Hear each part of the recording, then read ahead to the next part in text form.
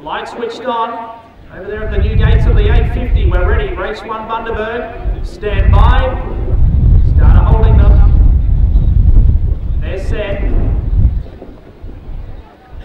No action as of yet. There we go. They're off and racing now. First bit came out well towards the inside. Better speed though from Poetic Pearl, who's going forward. Will also need finance the centre. Kobe strategy out wider. First bit lands in full spotter. A couple of lengths away then to uh, Susie Bell. About a length further back then to Rockshaw. And a line of three at the rear. Tenor last the centre. The inside Miss Literati and out wider was Triple One. Coming up towards the home bend and Poetic Pearl leads the way from Kobe strategy. Back near the inside was Need Finance. First bit getting to the outside, spots the leader about four. Further back then to Susie Bell in the straight now. Kobe Strategy got to the front. Trying to box on there was Need Finance with Poetic Pearl and first bid chiming in down the outside. 100 to run, still Kobe Strategy in front. Clear from first bid. Down on the inside there was Need Finance, but Kobe Strategy too good. Kobe Strategy, I length and three quarters to first bid.